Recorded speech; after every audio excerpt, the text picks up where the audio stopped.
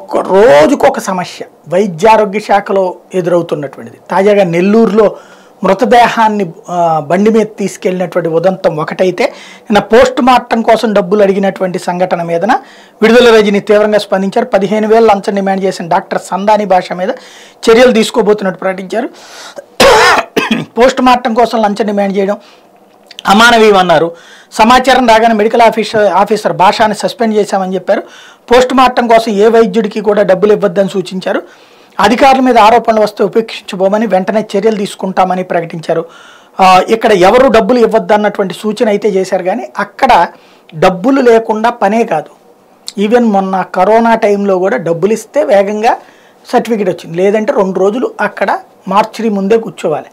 దానివల్ల జరుగుతుంది. ఇక్కడ కావాల్సింది ఏంటంటే మృతదేహానికి ఎంతసేపు పోస్ట్ మార్టం పడుతుంది ఎంతమంది ఉన్నారు అవసరమైతే ఎంతమందిని అపాయింట్ చేయాల్సి వస్తుంది.